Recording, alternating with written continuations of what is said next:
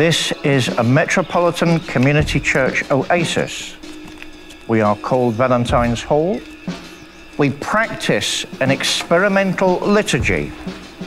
We try and include everything and everyone that we can. We are genuinely inclusive.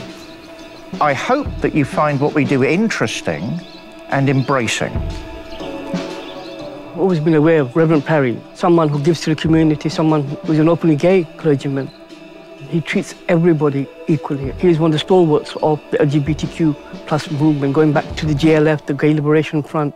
He's been at it for half a century now. Check with you. So it's down here. Yeah, that's where it starts. What makes us different, I hope, is not only the advanced outlook we have, but also the fact we focus on love and wisdom. The first feeling you get in this hall is that it really is all about love and welcoming. And that really makes it live up to its name.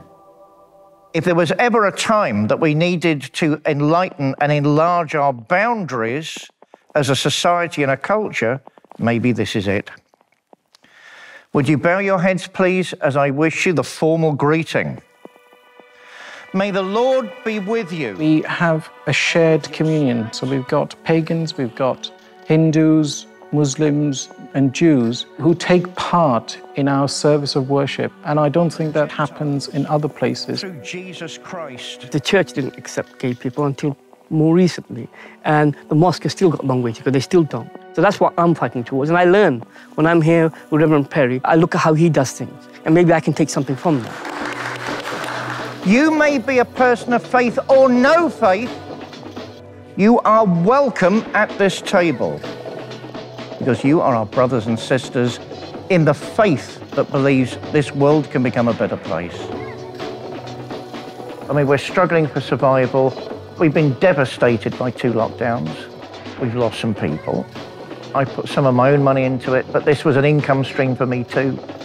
By a wing and a prayer, we're trying to keep going and we're hoping that people at least come and visit us before maybe we ascend as an idea to glory, but I'm hoping we can keep going.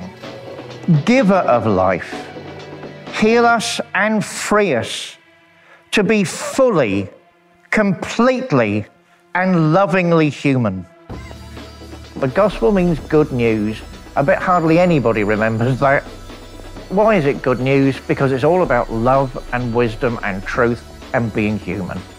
Everybody just does their own thing in Valentine's Hall, and that's just the way we like it.